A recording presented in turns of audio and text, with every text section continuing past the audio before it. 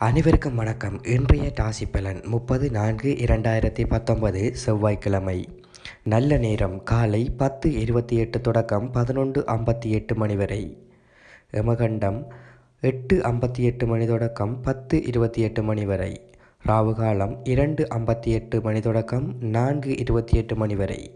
குளிகை பதினொன்று ஐம்பத்தி எட்டு மணி தொடக்கம் ஒன்று இருபத்தி எட்டு மணி வரை. இனி பன்னிரண்டு ராசிக்குரிய பலன்கள் என்னவென்று பார்க்கலாம்.